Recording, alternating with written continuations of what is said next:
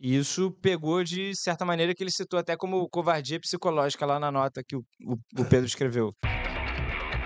Não, o, o Flamengo há 20, 20, con- 20 jogos, né? Sem perder, eu acho, É, uma derrota só com o Sampaoli, né? Uma Que foi o. Bragantino. com o São Paulo. E. Confusão do cara. É. Mas é ó, que a gente tava falando antes de entrar no aqui. Flamengo é bomba relógio, irmão. Você É. Como é que É, pois Você é. vê como é que aquilo. E a gente, assim, quando a gente jogava, né? Brincava com o Juan, falava sempre: Pô, Juan, isso aqui tá muito calmo, cara. Daqui a pouco o Juan cagada. Não sei por quê. É sempre assim, eu não sei por quê, não sei se as, as coisas têm um Política, e aí. maior. A- Agora, assim, esse caso teve mais a ver com a comissão técnica, o perfil, né? O o Sampaoli, de todos os clubes que ele trabalhou, ele sempre saiu meio com alguma rusga. É, Ele é um cara explosivo, né? Ele por natureza. E ele se cerca de pessoas ali que estão na mesma vibe dele. E acabou que o preparador físico queimou muito a linha ali, perdeu a noção. É, ele já tinha agredido um torcedor lá na França quando invadiu o gramado numa situação ali, talvez ele se sentia acuado, porque muita gente invadiu do gramado, mas ele deu um, ele deu um murrão. Ele, ele, é aquele que espera, é o cara que É, primeiro. é. E agora passou totalmente do limite. Vê se ele fosse no Atlético, ele fizesse isso com. Pois é. É, o Pedro, ele é até grande e tal, mas ele é, ele é meio. É meio. Não- Acho que não é nem o tamanho. É o perfil. É o perfil do, do, do- cara. do Pedro. É. Pedro tem cara de ser bom menino. Tanto que, segundo reportagem do GE lá assinada pelo Caê Mota, meu parceiro, sabe tudo de Flamengo, falou que uma das cobranças do Sampaoli era: é, tu é muito religioso, você tem que brigar mais. E isso pegou de certa maneira que ele citou até como covardia psicológica lá na nota que o, o- o Pedro escreveu. Isso aí é. É de se discutir. Sim. Uma coisa.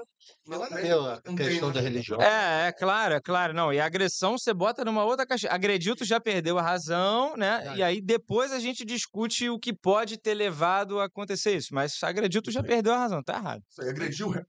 Primeira coisa a resolver é a agressão. Resolveu É. a agressão, tirou, mandou embora, prendeu, Isso. denunciou, resolveu. Agora vamos resolver Mas a disciplina. o Se que, é que vocês acharam? O Pedro não apareceu para treinar segunda, mas já o Marcos Braz já foi jantar lá com ele, família, já resolveram, ele foi treinar hoje, terça-feira. Mas o Sampaoli ficou. E o Pedro, na nota, tinha deixado claro que estava boladão. Com falta de oportunidades, com essa questão psicológica.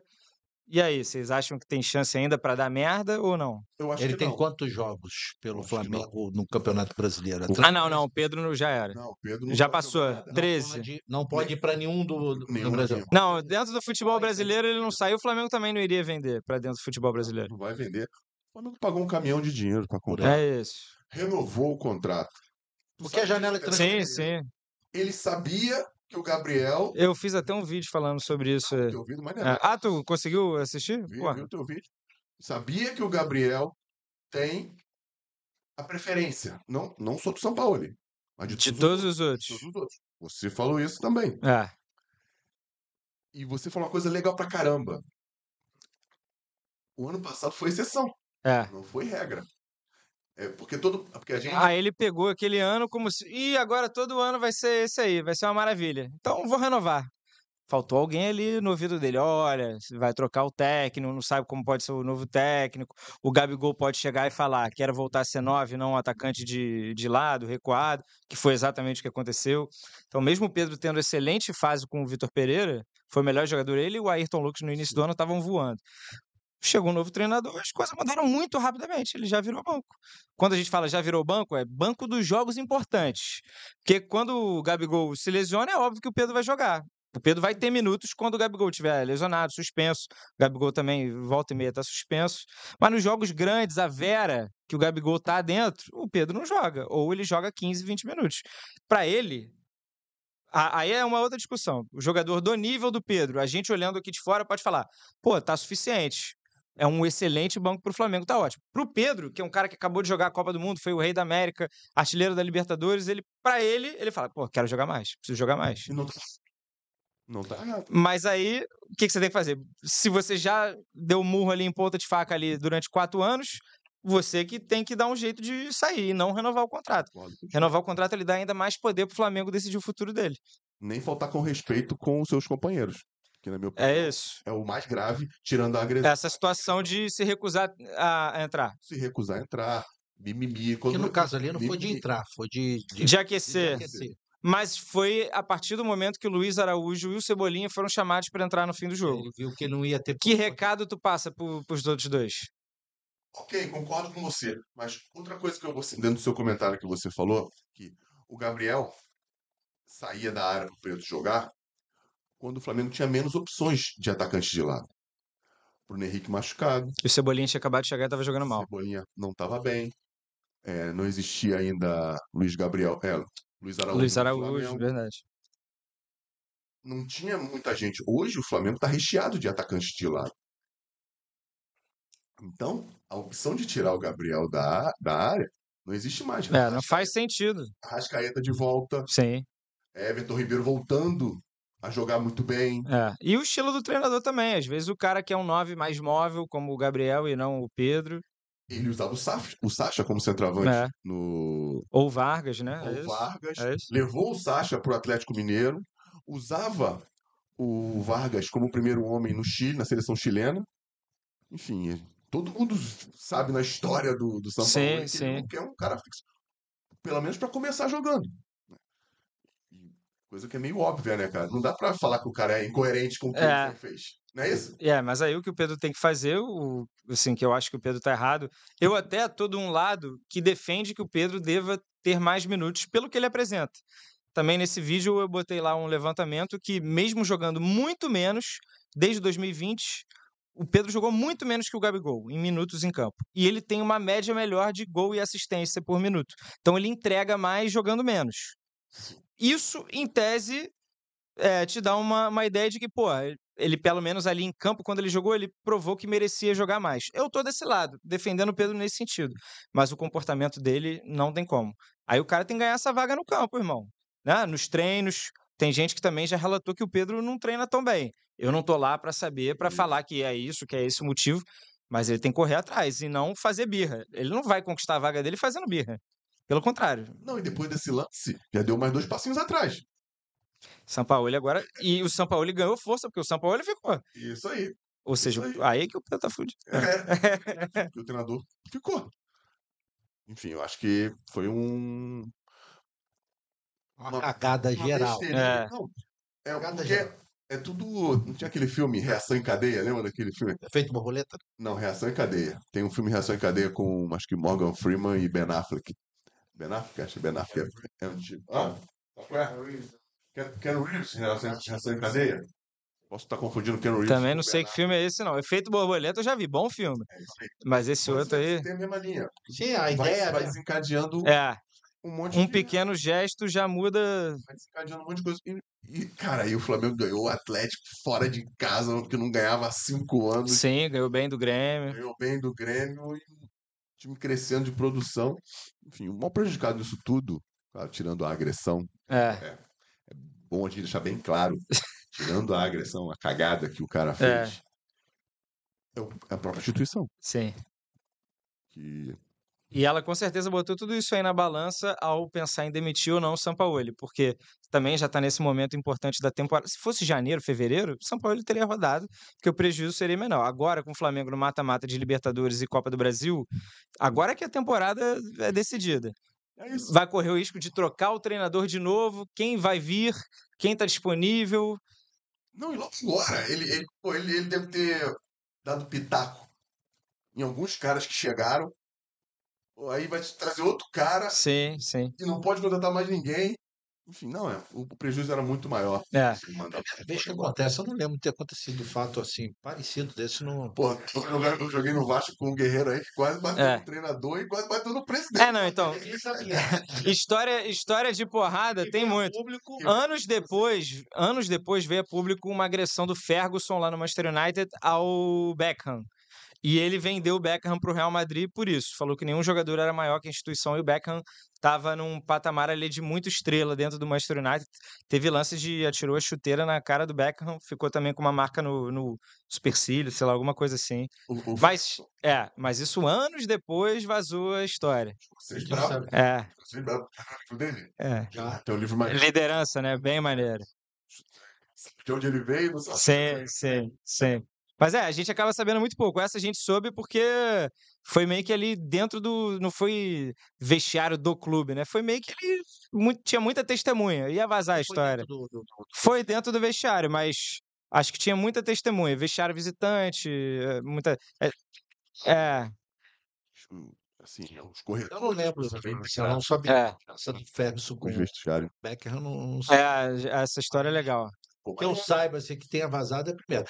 Porrada dentro do vestiário. Eu já Porra, eu imagino. Esse... Que em off ele conta pra gente depois. O Pedrinho, quando vai com a gente, conta umas boas lá em off também. e, ó, treino, a porrada com o meu era que foi quem? Petkovic e Bruno Carvalho. Uma vez na porrada, acho que foi o Pet o Bruno, lá foi a Flabara. Foi o, o Leandro Machado, não sei. Eu sei que É. trocação, cara, mas foi maneiro pra caramba. Ah, o Romário já caiu na porrada algumas vezes também, pô. Isso é normal. É. Entre jogadores, né? Sim. Mas normal não. Normal. A palavra é diferente, é comum entre jogadores. os, am- os, os anos. É frequente, né? É, é, é. E é uma, e é um, um passado não, não muito distante, mas também não muito próximo. Sim, hoje sim. as coisas tendem a ter uma. É, uma é, isso já, já foi encarado até como inaceitável, né? Ninguém deu razão ao preparador, graças a Deus, Isso aí. porque com certeza há alguns bons anos ia ter al- algum torcedor falando: Ah, esse cara aí também não quer correr, não sei, tem mais é que apanhar mesmo. Você já deve ter ouvido essa frase aí, né? Procurar em algum Tem, tem. Com certeza tem um. No Twitter, no Twitter, deve achar. tudo isso. Mas uma, uma, assim, uma coisa é a gente se, entender. Eu sou um cara de paz, tá? Sou grandão, sou feioso, mas sou um cara da paz. Porra, assumiu a verdade. Mas quando tu tá aqui, você se desentende e vocês vão às vias de fato, é uma coisa, né? Pelo que a gente, pelo que a gente viu, Ele não fez nada, ele só apanhou. só apanhou. É? Só apanhou. E quando ele só recebe, é. ele tem toda a razão de denunciar, de fazer o que ele achar que É. deve. E fez muito bem. Sim. Fez o certo. Fez o certo. A atitude Quis fazer o BO, né? Só Fez. voltou de madrugada, isso aí, mas. Tudo certo, tudo certo. Só não pode deixar de treinar. Agora, não pode deixar de fazer o que você recebe em dia e bem para fazer. Com estrutura. Isso é É. uma coisa não tem nada a ver com. É, eu até cheguei. Não sei se isso também passou pela cabeça do Pedro, mas segunda-feira, nos grupos aí de conversa, era possível imaginar que o Pedro poderia recorrer à justiça para conseguir alguma coisa de interesse dele. Sim. É, mas eu não sei se isso chegou a passar pela cabeça dele, porque quando ele não vai treinar, essa possibilidade está no ar. O Isso aí. cara não foi treinar. O cara fez o BO, não reagiu. Porra, ele tem margem ali pra tentar alguma coisa. Mas, como ele já treinou, pararam as arestas aí na, na noite, foi treinar hoje, eu acho que deve ter resolvido. Cara, eu não sei se tem. Bahia é contigo. Se tem meio legal, até Se vai porque. conseguir, porque É, pra você pode- conseguir é muito você difícil. Pode até conseguir, mas aí você vai conseguir por efeito de eliminar. E o Flamengo vai brigar discutir. até a última instância É. pra. t- Aí tua carreira vai ficar Pô. estagnada. Não vale o. E quem assume ele é, é corresponsável. É, É, você- tu corre o risco de. que ele tivesse entrado na justiça, Sim. teve Para passe, eliminar. aí ele vai obteve a eliminar, ele vai para um clube. Esse clube É, que Fechou salário, é, e fechou salário, aí a justiça impede o cara de jogar e o próximo clube tá pagando salário pro cara não jogar. É, não, mas aí se tipo, vão pagar uma, uma, É. uma dívida. É, Por exemplo, ó, a justiça condenou que vai ter que pagar 20 milhões. indenização, né? O cara tem que. Sim. É solidário. É puxado. E É, aí mas ah, uma assim- instituição gigante, centenária, contra um jogador. Tem, tem também. Não, não E ele ainda tem carreira pela frente, É. então, assim, é, ficar feio. seria um prejuízo. Pô, a gente pode ficar meia hora aqui listando. alguém deve ter Com ensinado. certeza, Alguém com deve ter certeza. Ele vai treinar, já mandaram o cara embora, É. não tem o que tu fazer. É, Tu vai, vai treinar, vai treinar e treina bem, É. você tem a oportunidade de jogar mais vezes. Porque o titular é o cara. é, é isso também.